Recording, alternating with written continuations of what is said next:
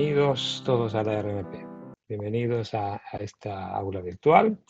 Em, hoy con ustedes están gente nueva, como siempre. Todos los cursos nuestros, gente nueva. Y hay gente que repasa, que repasa la educación continua. Y la educación continua quiere decir que continuamos a estudiar.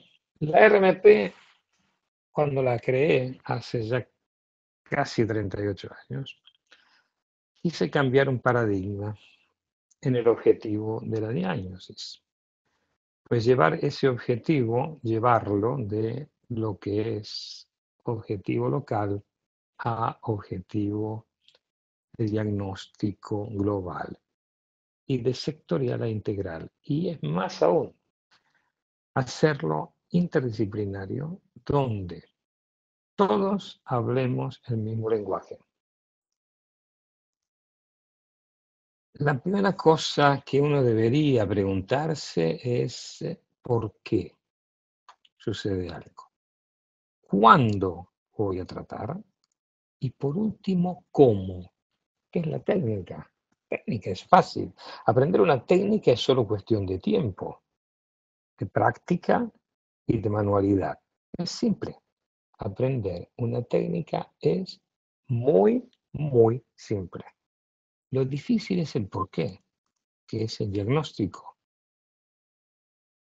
El diagnóstico requiere estudio y experiencia clínica. Y es lo más difícil, diagnosticar. Pero cuando uno diagnosticó, utiliza la técnica justa. El cuándo es otra cosa difícil.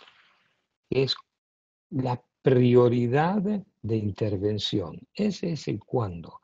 ¿Cuándo debo intervenir? Y las dos primeras partes son las que empeñan más tiempo. Esta última, que es el cómo, que es la técnica, es lo más fácil. Y es a lo que nosotros normalmente vamos, ¿verdad? Quiero aprender la técnica de, quiero aprender el aparato de. Entonces, la técnica es simple y desgraciadamente nosotros queremos aprender técnicas. Y cuando no funcionan, hacemos como el mecánico, las cambiamos. Entonces nos pasamos toda la santa vida a aprender técnicas.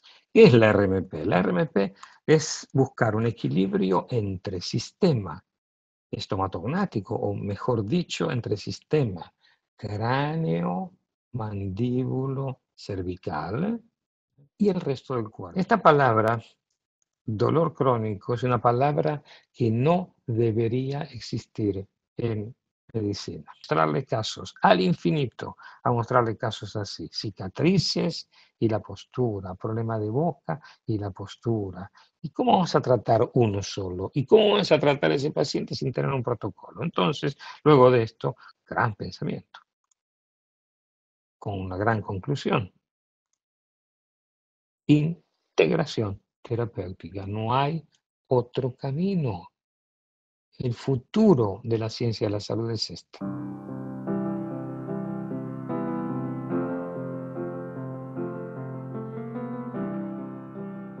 Algo que es importante en el diagnóstico del RMP, que es la posturología clínica. Eh, el por qué. ¿Se acuerdan? Es pasada preguntamos por qué sucede algo importantísimo. Primera parte del diagnóstico es el por qué. ¿Por qué pasa algo? ¿Por qué sucede? ¿Por qué tengo este problema? Cosa que a veces no nos preguntamos. Luego, ¿cuándo voy a tratar? Esto recuérdenselo siempre. ¿Por qué? Diagnóstico. ¿Cuándo es la prioridad de tratamiento? Y por último, ¿cómo? El cómo ¿eh? No es una prioridad. Y es la parte más fácil, porque es una técnica. Visto cómo actúa la disfunción, vamos a hablar ahora de la clínica postural y el diagnóstico postural, es decir, los diagnósticos, los test que nosotros vamos a aprender a hacer en la práctica tienen mirado un objetivo determinado. Diagnóstico postural diagnóstico estomatognático, hoy no lo vamos a ver, bioquímica, apoyo podal, psique e instrumental. Eso es RMP. Hoy vamos a ocupar de postura, apoyo podal. En la clínica postural nosotros vamos a estudiar planos virtuales. Son planos que no tienen, eh, no son planos existentes. Todos los planos del cuerpo son planos virtuales. Ustedes lo saben muy bien. ¿eh? Son todos planos virtuales, no eh, planos reales. Esos planos virtuales son el plano, los planos posturales, que vamos a ver ahora. Vamos a hacer un triángulo que se llama triángulo toracobraquial, muy buen indicador de patología. Un test rotación de la cabeza y flexión de la cabeza. Un test de la convergencia. Un test diferencial de esa convergencia. El test de la marcha el apoyo bipodálico estático y el apoyo monopodálico estático.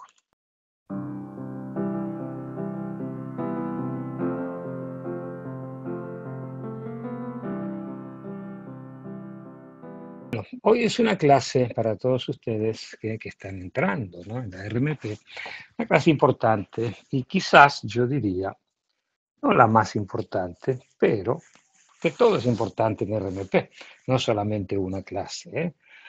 Pero esta clase, que es dedicada a la bioquímica, es una clase... Bueno, entonces, como nosotros decimos eh, bioquímica, estamos hablando algo muy, muy importante, que es el drenaje y la detoxificación.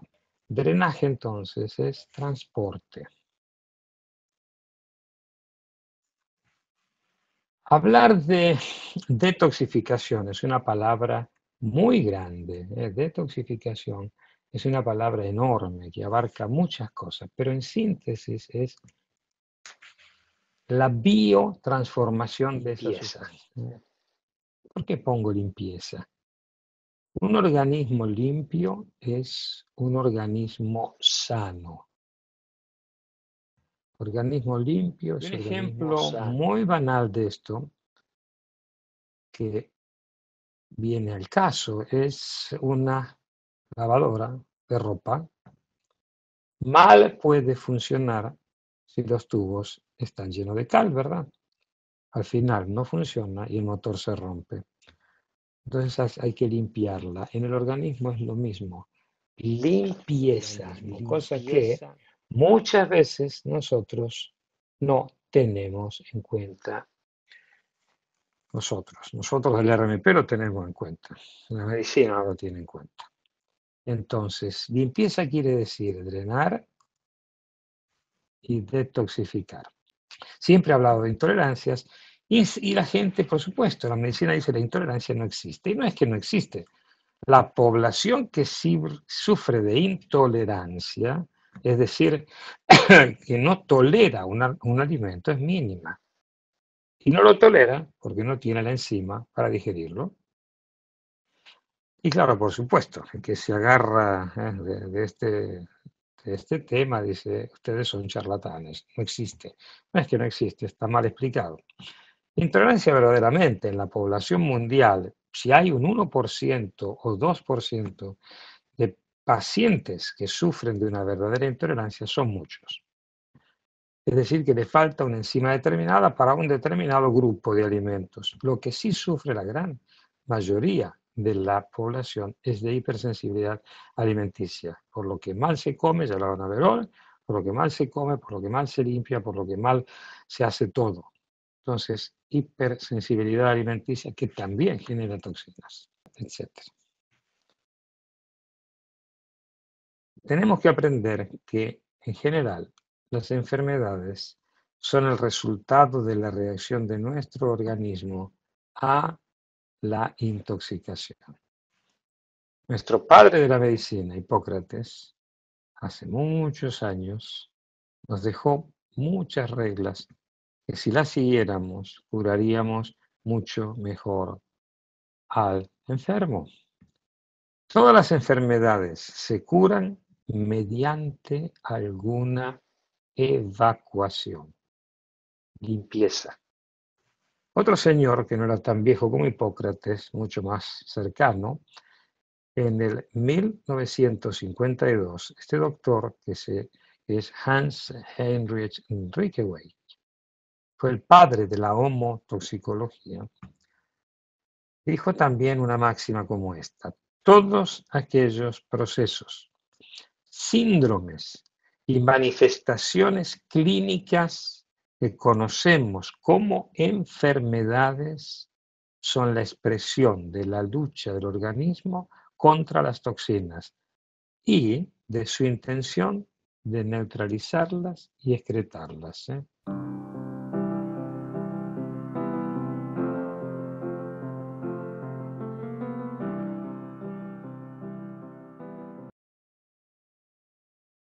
Que ahí me están escuchando. Bueno, como les decía, ¿eh? y ahora sí quiero que se escucha bien, ¿eh? si no se escucha bien, levántenme la mano. El, casi siempre, casi siempre, eh, las patologías de la ATM son causadas por aumento de presión intraarticular y indudablemente el aumento de presión intraarticular muchas veces está generado por los cambios de posición mandibular generados a su vez por la oclusión pérdida de posición mandibular, cuando la mandíbula pierde posición, cuando la mandíbula se queda sin posición mandibular, porque los dientes o se pierden o la condicionan a estar mal, eso genera la gran mayoría de las patologías. Eh, la oclusión y la dimensión vertical son importantísimas, ya lo van a ver ustedes. Retroposiciones, pérdida de dimensión vertical, intrusión de esos cóndilos. Todo eso aumenta la presión. Las anteposiciones, las extrusiones, incoordinan el disco generalmente. Entonces, miren ustedes cómo hay todo lo que es patología del ATM está muy, muy, muy ligado, muy, pero muy ligado a qué cosa, a los cambios de postura mandibular condicionados por los dientes, condicionados por la oclusión. Entonces, como dijimos al principio, la ATM no es una articulación solo, es un sistema, es parte de un sistema que nosotros vamos a empezar a llamar sistema cráneo, mandíbulo, cervical y postural, porque como ustedes habrán visto, todo esto está relacionado con la postura. Y el sistema facial cuando se altera, altera la postura. Es una de las cosas que muchas veces eh, no se tiene en cuenta en las terapias. Entonces es una unidad funcional y disco. Esa articulación, ¿eh? cuando está bien centrada, nosotros la llamamos relación céntrica, relación centrada, sin contacto dentario, ¿no? en una posición que se llama comúnmente posición fisiológica de reposo. Cóndilo cavidad retrodiscal. Recuerden siempre esa parte. Ustedes ven ahí que hay un espacio donde el cóndilo ha descendido, ha liberado la presión del ATM. Esto es fundamental. ¿Por qué? Porque esa posición que ustedes ven ahí la, se la obtiene cuando la mandíbula va a la máxima retrusión. Ciclo translatorio ¿eh? como lo dijimos, ¿eh? de la mandíbula, es muy simple, ¿no? Abre y cierra, abre y cierra y el disco acompaña funcionamiento de la ATM. ¿eh? Vamos a ir a ver un video. ATM, vamos a ver, son movimientos de la, de la, articulación, apertura, cierre y propulsión. Y cada músculo de ellos, ya van a ver después, cada músculo van a tener una función ese sistema ioideo. Y ahora vamos a ver un lindo, un lindo video, ¿eh? muy lindo, de la disección del hospital de Sinaí, un excelente disector. Miren qué hermosa disección ioideo y qué íntima relación con la mandíbula, cómo está conectado muy, muy, muy, muy conectado a donde mandíbula y ioides y y qué cosa, cuello, cervicales. Miren ustedes, ya van a ver ahora. ¿eh? hay mi actividad. Entonces es muy importante que el sistema estomatognático esté en equilibrio. Homoideo, ¿eh? miren ustedes cómo esos musculitos, cuando la mandíbula cambia de posición y contractura más de un lado que del otro, ¿quién va a alterar el plano postural? Con conexión a ioides. Y cada cambio de posición lingual, cada cambio de posición lingual que no vaya bien, que no funcione bien, cada disfunción de la lengua va a alterar también el sistema ioideo. Entonces,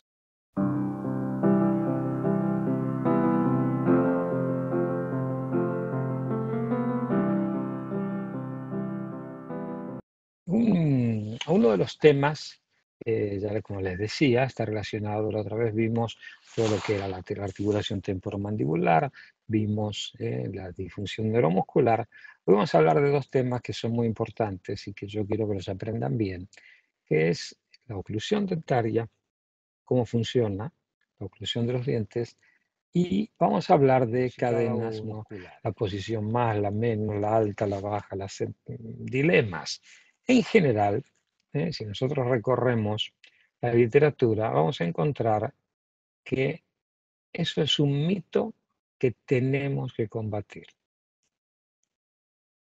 Su nombre en realidad es espacio fisiológico.